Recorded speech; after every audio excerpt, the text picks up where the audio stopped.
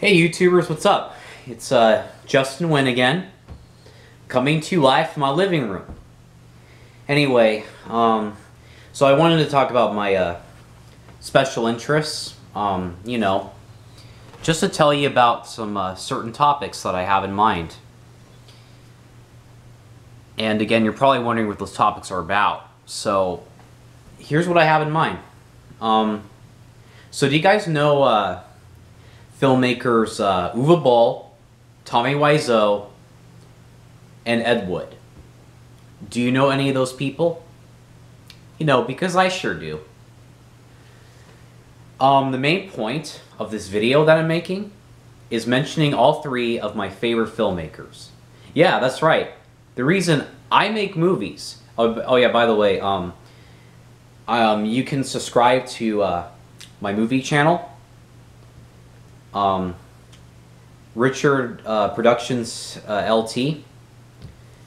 Look at the, the description below after this video. Um, all right, back to uh, Tommy Wiseau, Uwe Boll, and Ed Wood. Um, so I'm going to be talking about each one of them and what they've created. So let's go with the first one. Ed Wood. You know, he was a struggling filmmaker in Hollywood, 1950s. You know, he struggled to make films, and, you know, you may know him for a couple of his films, actually. Like, you may know him for Plan 9 from Outer Space, Glen or Glenda, Jailbait, and his unreleased film, The Night of the Ghouls.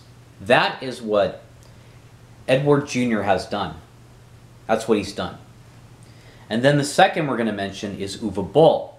And obviously you know, you know what Uwe Boll has done. He's known for his video game movies. And people are calling his video game movies the worst films ever made. This guy is known for In the Name of the King and Dungeon Siege, his critically panned movie Alone in the Dark, BloodRayne, Assault on Wall Street, the Rampage trilogy, Postal, and many more. I'm kind of like, you know, Uwe Boll at the moment. You know, I, uh, I make bad movies like him, and I admit it. I admit it, you know? I make bad films. But you know what? I don't care what you guys say. I like doing what I'm doing. And I want to keep doing it. Alright, moving on to uh, Tommy Wiseau. You know Wiseau is not going to be a hard one. You know what this guy has done. Yeah, that's what I thought. yeah, The Room. I mean, who doesn't know The Room? I mean, everyone knows that movie. Even I know it. But over the years, it has um, developed into a, uh, a cult classic and is being shown a lot. It's been, you know, it's been known as the Rocky Horror Picture Show of movies. You know, even I agree that it's not that bad of a film. Yeah, I like it. You know, honestly, because of these three men, because of them, is why I make movies in general. Because of those three geniuses, well, sort of geniuses, I should put it, is why I make films in general. And, you know, I enjoy doing it. I really do. Yeah. And uh, if it wasn't for those three, I wouldn't be here right now making this video. Honestly, I wouldn't. Ugh.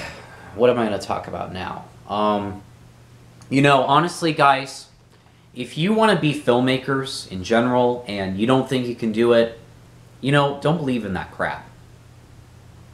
You can be who you want to be. You can be what your needs are at.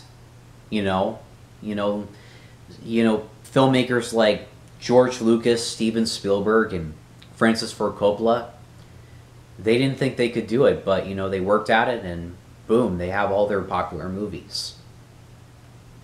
I think you could do the same thing too. You know, if you really believe in yourself. Yeah.